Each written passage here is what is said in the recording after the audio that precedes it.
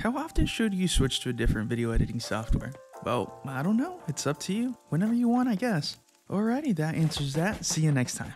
Obviously, I'm being sarcastic, but that answer is not entirely false. You see, when it comes to switching editing tools and finding a new workflow, you first have to reflect and evaluate your situation to understand what you're looking for in the first place. So, here are three main points that you can use to guide yourself to know when you're ready to make the switch. Ugh. Alright, give me a second.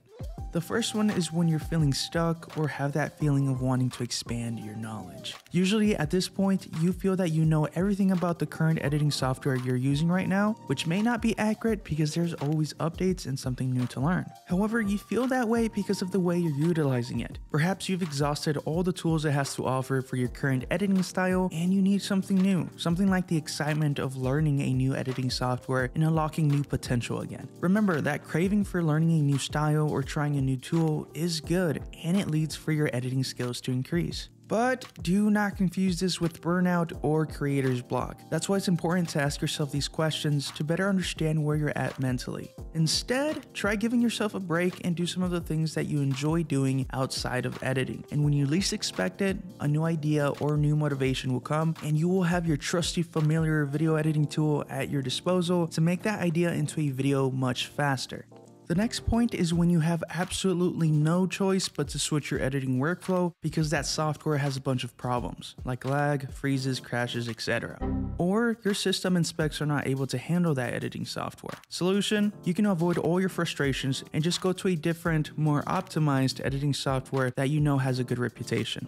Disclaimer, I'm not saying that there's a perfect editing software that doesn't crash. They all crash once in a while, but I am saying that you might want to avoid ones that do it in excess.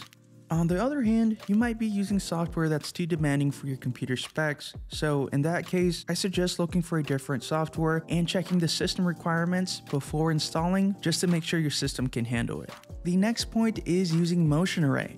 Now, I'm kidding, but I do want to thank them for partnering up with the channel. Now, if you've never heard of them before, Motion Array is basically a one-stop shop for all your video post-production needs. They contain a large array of premium quality templates, stock videos, and music for you to download to help you make better videos faster and easier. All you gotta do is make an account with them and you will have access to all of the free assets available and you can find whatever you need and download it in just a few clicks. Just that easy. And each template and asset also comes with a tutorial tutorial just in case you need some help. Or you can try one of the many subscription plans that Motion Array offers and download whatever you want and use it whenever you want to. You can cancel at any time and all your assets will still be covered. So if you want to try it out, you can use my link in the description and try it out for free. And if you decide to register for any type of subscription, you'll be making yourself a favor and you'd be supporting the channel as well. So thank you.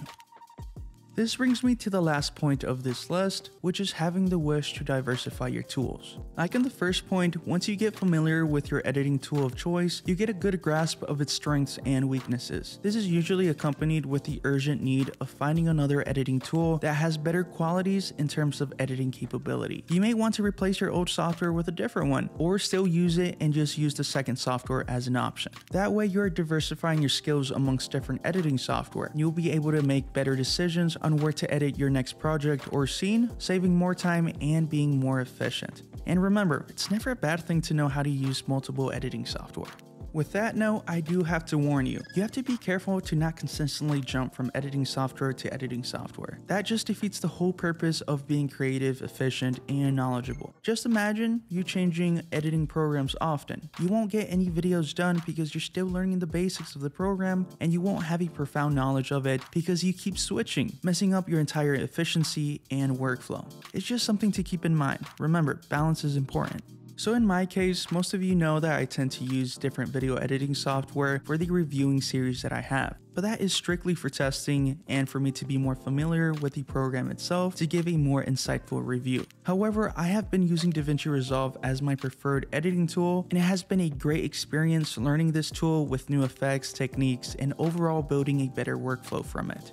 For those of you who are real viewers of the channel, many of you know that I used to use Sony Vegas for the longest time, and I also had a good experience with it as well, and then Shotcut before that. So as you can see, it has been a steady progression in my switching habits, despite me making quick stops using and testing other software along the way, and I learned a lot from it. Now I'm capable of using any software that I have used before and understand how to do certain things and be aware of their capabilities. But I do have my favorites nonetheless, and nothing is stopping you from doing the same. You just gotta recap and know where you want to go. Hopefully these three guiding points that I use helps you to find your footing to make your decision. At the end of the day, what matters is what skills you can transfer onto the next tool to make your videos better over time.